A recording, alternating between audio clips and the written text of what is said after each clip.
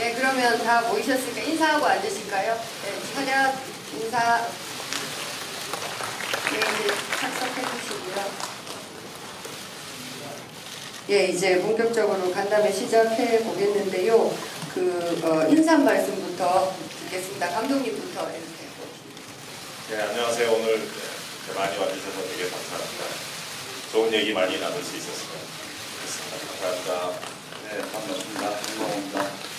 어, 음, 드디어 이제 개, 개봉을 하니까 아, 설레기도 하지만 또 어, 우리나라 관객분들이 어떻게 봐주실까 긴장도 되고 그렇습니다. 아무튼 많은 성원 부탁드리고요. 어, 많이 와주셔서 감사드립니다. 네, 안녕하세요. 박서진 교수님입니다.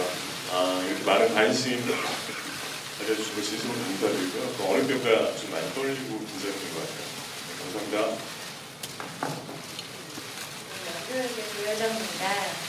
좋은 영화로 찾아뵐 수 있어서 너무 기쁘고요. 많이 응원해주세요. 감사합니다.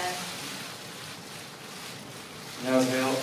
조우식입니다. 어, 저희 이렇게 많이 와주셔서 너무 감사드리고요. 이렇게 너무 많이 와, 와주셔가지고 많이 긴장이 되네요. 감사합니다.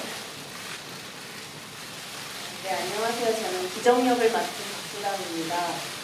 어, 정말 너무 많이 와주셔서 너무 감사드리고요. 어, 많은 이야기 나눌 수 있었으면 좋겠습니다. 감사합니다. 안녕하세요. 춘신역의 장혜수입니다. 포스터랑 많이 만나서 놀라셨죠?